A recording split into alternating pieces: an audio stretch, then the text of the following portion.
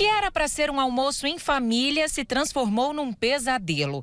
Em abril, Stephanie, de 13 anos, estava almoçando com o pai, a mãe e a avó quando se engasgou com um pedaço de carne.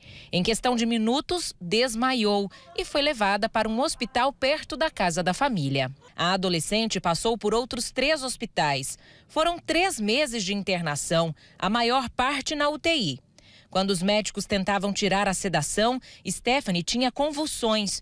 Em um dos episódios, mordeu a língua e precisou passar por uma cirurgia de emergência. Eu sempre pedindo para Deus, para ele trazer a Stephanie de volta, que eu confiava nele. A família foi chamada ao hospital para se despedir de Stephanie.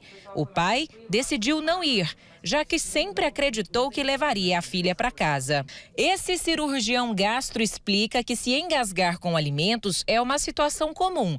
Por isso, quando estiver comendo, é importante não conversar e mastigar bem. O grupo de alimentos que mais provoca esse tipo de acidente são os alimentos é, pequenos como nozes, amendoins, salsichas, alguns tipos de ossos.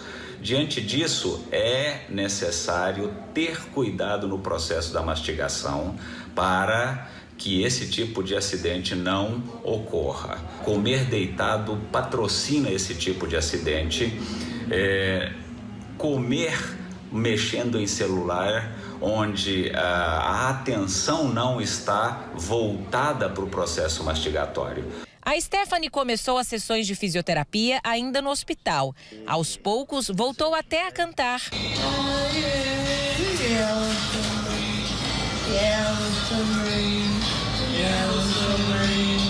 A Stephanie fica aqui deitadinha, descansando, mas não passa o dia inteiro na cama, não, viu? Pelo contrário, tá super esperta.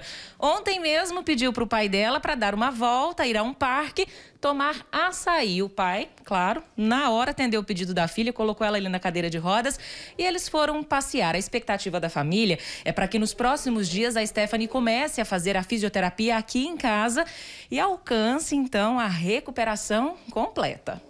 Você chegou cansado do trabalho, seu filho quer brincar, gente, brinca, vai, porque a nossa vida é um sopro. Então, cuidem dos filhos de vocês, passem um tempo que puder junto com a família de vocês, essas pessoas que você, vocês amam, porque a gente não sabe o dia de amanhã.